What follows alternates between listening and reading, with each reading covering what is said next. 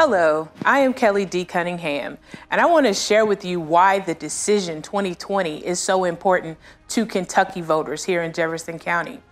John Lewis has said repeatedly that the vote is the most powerful nonviolent tool that we have. And we want to honor his memory and we want to honor his legacy by getting out to vote in Kentucky in 2020. We have three ways in Kentucky that we can vote. We have our absentee ballot, which must be requested by October the 9th. We have early voting that starts October the 13th to November the 2nd. And we also have Election Day, which is November the 3rd, Tuesday, from 6 a.m. to 6 p.m., our normal voting hours.